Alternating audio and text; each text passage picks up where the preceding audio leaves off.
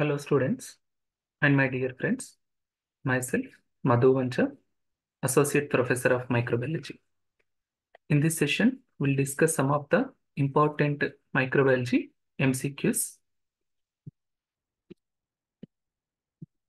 First question Zika virus disease is transmitted by option A, sandfly, option B, Aedes mosquito, option C, Culex mosquito, option D, all of the above.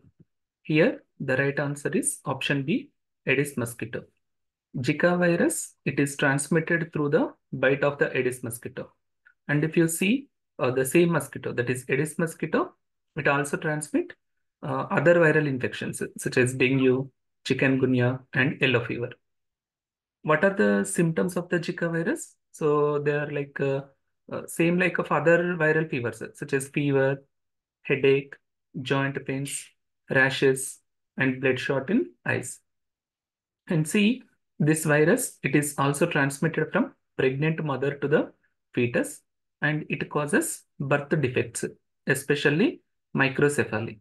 And this Zika virus, it is confirmed by RT-PCR. And if you see other options, sandfly.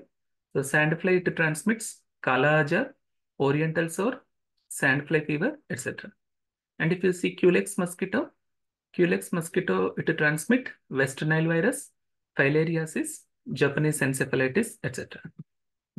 Next question. How many categories of biomedical waste are there? Option A, 5. Option B, 7. Option C, 8. Option D, 4. Here the right answer is option D, 4. New biomedical waste rules, uh, they have been notified in the year 2016 on 28th March 2016. So these uh, categories, new medical waste rules, they replace the earlier rules such as 1998 rules. And amendments were uh, made in the year 2016. Oh, sorry, amendments were made in the biomedical waste rules 2016 in the year 2018 and 2019. So according to the new rules, four categories are there. So these four categories, they are based upon the color coding of bags for the segregation of waste. Next question. Which of the following bacteria can act as indicator of fecal pollution of drinking water? Option A, E. coli. Option B, Bacillus subtilis. Option C, diphtheroids. Option D, all of the above. Here, the right answer is option A, E. coli. E. coli, it is the intestinal flora. It is a normal flora of the intestines of man as well as animals. So it is uh, excreted in the like stool. So it is called as the sewage bacteria. And if you see other options such as Bacillus subtilis, Bacillus subtilis, it is a soil bacteria. So this is also present in the water, especially during heavy rains. So during the like heavy rains, so this bacteria like uh, that is uh, washed into the like water. So they are not uh, normal inhabitants of the water. So Bacillus subtilis generally present in the soil. And the diphtheroids, they are the normal flora of the skin and mucous membranes. Here, the right answer is Escherichia coli. Next question. The most important bacterial cause of sore throat is option A, Streptococcus pyogenes, option B, Staphylococcus aureus, option C, Staphylococcus epidermidis, option D, all of the above. Here the right answer is option A, Streptococcus pyogenes. Streptococcus pyogenes causes sore throat, that is respiratory tract infections. If you see Staphylococcus aureus, it causes pyogenic infections, that is pus forming infections. And Staphylococcus epidermidis, it is a skin commensal, normal flora of the skin. Uh, generally, it is a opportunistic pathogen. It causes infections in the patients with artificial heart valves. Next question. Which of the following tests may be used for diagnostic of rheumatic fever? Option A, ASO test, that is anti-streptolysin O test. And option B, anti-streptokinase antibody detection. Option C, streptozyme test. And option D, all of the above. Here the right answer is option D, all of the above. If you see acute rheumatic fever, uh, this occurs in persons who had uh, previously affected by streptococcal sore throat. And this is uh, autoimmune reaction or immune complex reaction. Rheumatic fever is one of the post-streptococcal complications. So generally we do the ASO test, uh, anti-streptokinase test, and the streptozyme test. So if you see ASO titer, that is uh, more than 200 Todd units per ml, it is a significant of rheumatic fever and it indicates post-streptococcal complications. And if you see anti-streptozyme test, it is a passive slide agglutination, slide hemagglutination test. Next question, in which year the first case of HIV infection was found in India? Option A, 1984. Option B, 1985. Option B, 1986. Option D, 1987. Here, the right answer is option option C, that is in the year 1986.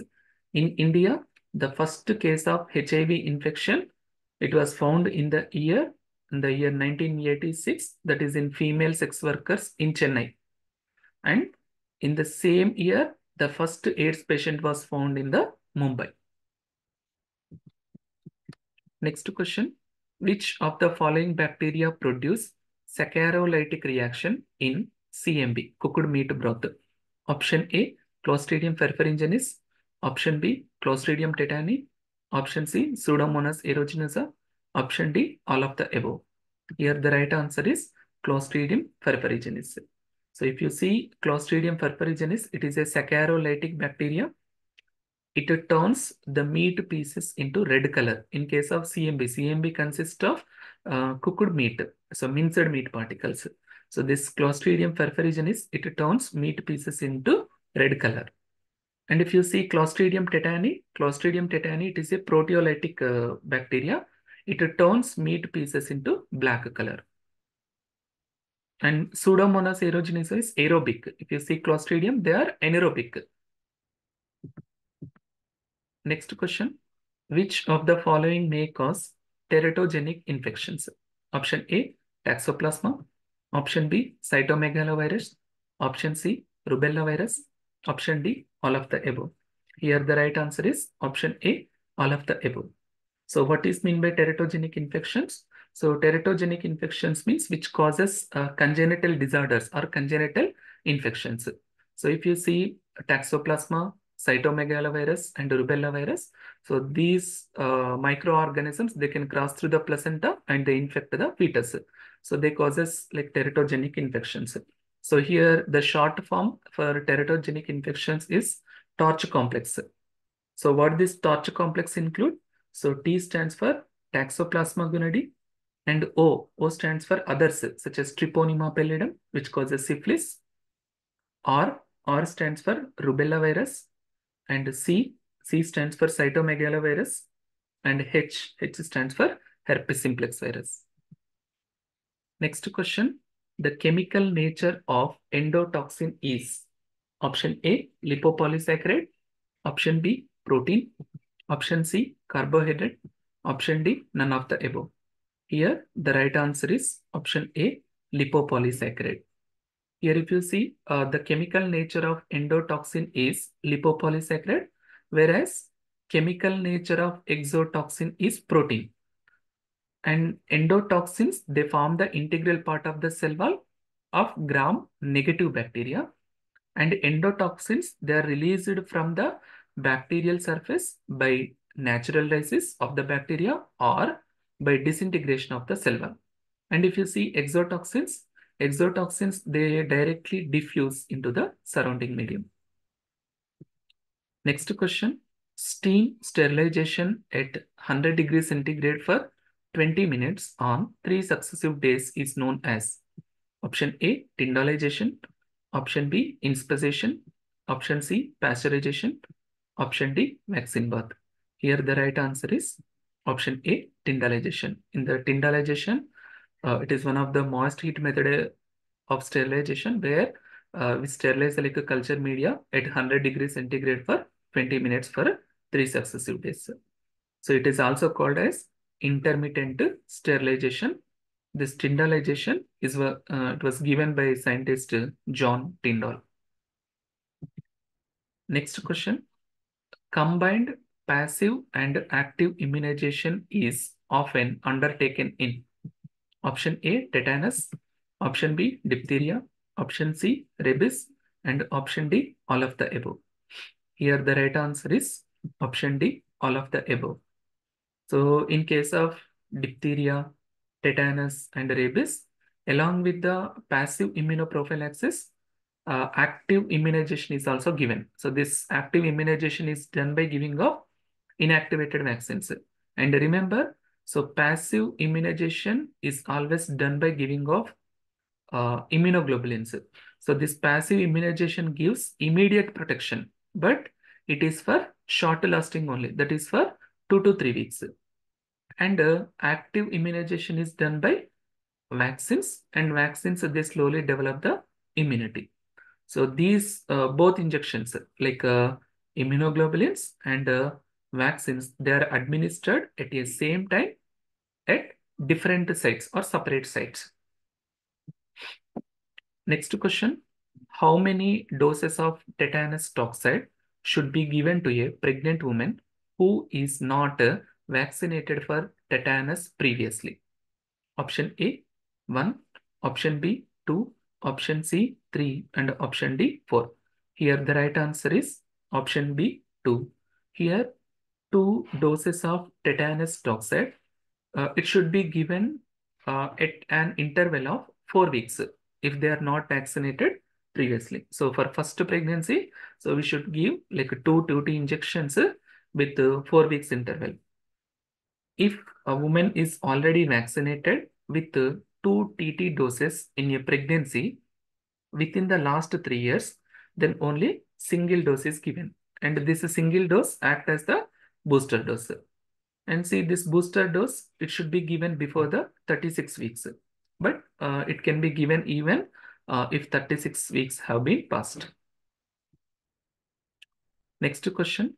The selective media for isolating Bacillus cereus from stool is option A, plate medium, option B, mannitol egg yolk polymyxin agar, option C, buffered charcoal yeast extract agar, option D, mannitol salt agar.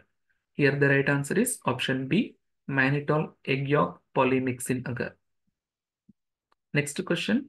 Which of the following is used commercially for sterilization of disposable plastic items? Option A, ethylene oxide. Option B, autoclave. Option C, glutaraldehyde. Option D, ethyl alcohol. Here, the right answer is option A, ethylene oxide. Next question. Kaposi sarcoma occurred at a 20 times higher rate among HIV patients who acquired infections via option A, blood transfusion, option B, heterosexual, option C, vertical transmission, option D, MSM. Here, the right answer is option D, that is MSM, that is men sex with the men. So we can see uh, Kaposi sarcoma, like a higher rate in case of uh, like um, homosexual, that is men sex with the men. Thank you.